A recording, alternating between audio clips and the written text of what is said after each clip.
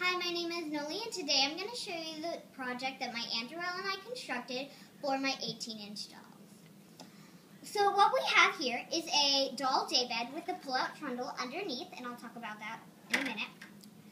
So the basic structure, or the entire thing as you may call it, is made out of core board, and around the sides is rickrack. Yeah, that's what it's called, rickrack. And then we added gems to add some spice or pizzazz.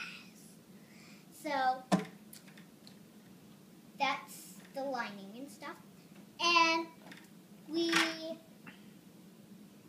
did, and underneath we put two little triangles underneath it to help secure it in, in place. And right here, you know how there's it's so thin right here? So we put this is two stacked up on each other.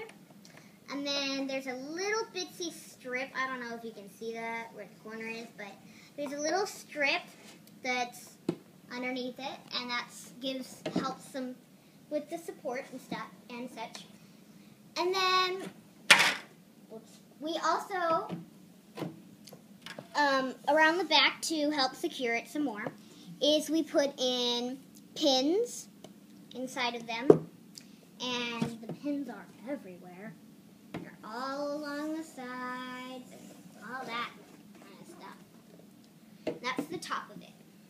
Now the trundle is also core board, even the little feet.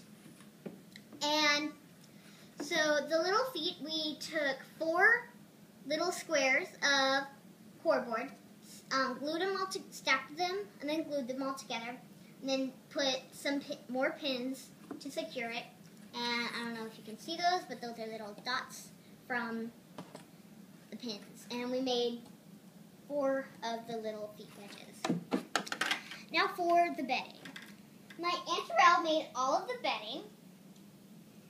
And these are the mattresses that she made. She made two. And I love this fabric. It's so spicy and pizzazzy and everything.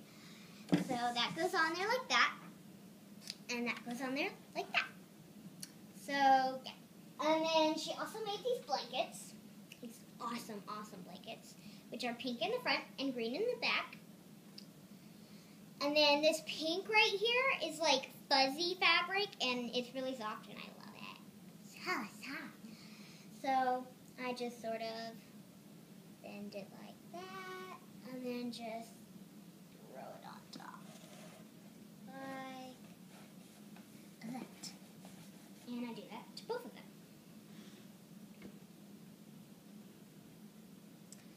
So that's the blankets and the mattresses. And now for the pillows. And my Aunt made all of these. So these are the pillows that are the fabric as that are the same fabric as the um, mattresses. And then this is the same fabric as the um, green part of the blanket. So I just sort of put this one first, the bigger one first, then the thinner one next, and this one right there. And then this one right there. And you have a doll daybed with a pull-out trundle underneath. Thank you.